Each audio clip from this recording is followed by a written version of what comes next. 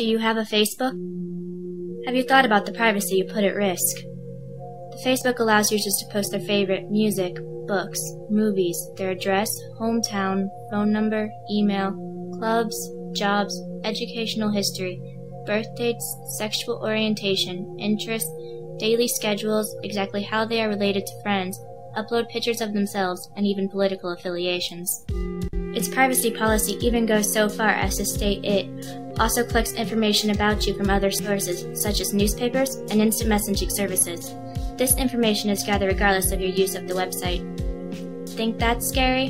The Facebook's term of service state by posting member content to any part of the website, you automatically grant and you represent and warrant that you have the right to grant to Facebook an irrevocable, perpetual, non exclusive, transferable, fully paid, worldwide license with the right to sublicense to use, copy, perform, display, reformat, translate, excerpt in whole or in part, and distribute such information and content, and to prepare derivative works of, or incorporate into other works such information and content, and to grant and authorize sublicenses of the foregoing.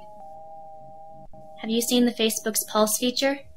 Pulse provides statistical trends among universities down to minute details such as percentages of females with conservative views, the student body's top 10 movies, and percentage of students who have read Catcher in the Rye.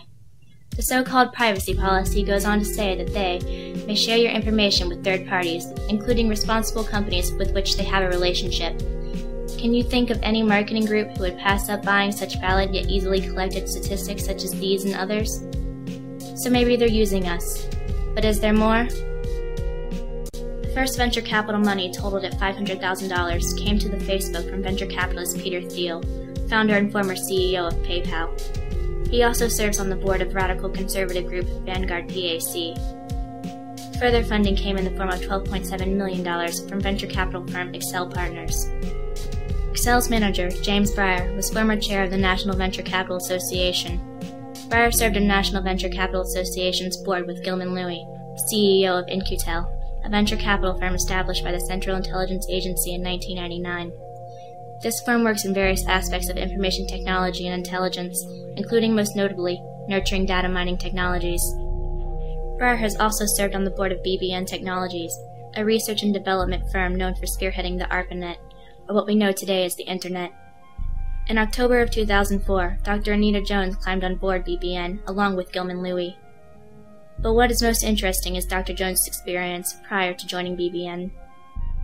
Jones herself served on the board of directors for In-Q-Tel and was previously the Director of Defense Research and Engineering for the U.S. Department of Defense. Her responsibilities included serving as an advisor to the Secretary of Defense and overseeing the Defense Advanced Research Projects Agency. This goes farther than just the initial appearances. DARPA shot to national fame in 2002 when knowledge of the existence of the Information Awareness Office came to light.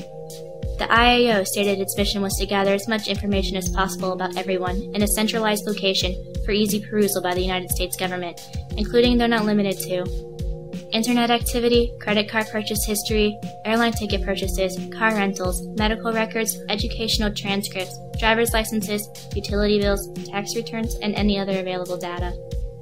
All of the above raises more questions than answers. Perhaps if the Facebook wishes to stay ethically sane, it should enact the policy what happens in the Facebook stays in the Facebook.